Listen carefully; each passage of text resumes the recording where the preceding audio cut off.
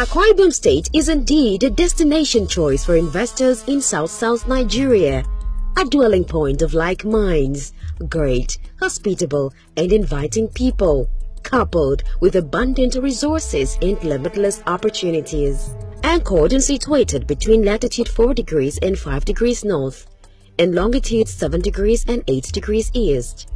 It covers a total land area of 7,249 square kilometers. Akwa Ibom State is one of the 36 states in Nigeria with 31 local government areas and Uyo as the state capital. The state has three senatorial districts, namely Uyo, Ikot Ekpene, and Eket. Mr. Udom Emmanuel is the fourth democratically elected governor of the state a thoroughly bred professional, and an outstanding public servant who has adopted a pragmatic approach to the leadership of the state. The governor is passionate in providing world-class infrastructure to accelerate all-round development as well as rapid industrialization of the state. Armed with a five-point agenda of wealth creation, economic and political inclusion, poverty alleviation, job creation, infrastructural consolidation, and expansion.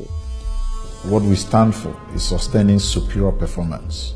We try to create that environment where investment will strive. Three key things that we know investors are looking out for security, reliable infrastructure, transparent legislation. We try to put all this in place to make sure Akwa State is a proper destination and also a safe haven for those investors. Numerous investment opportunities and potential abound in agriculture, oil and gas, transportation, power, and solid minerals.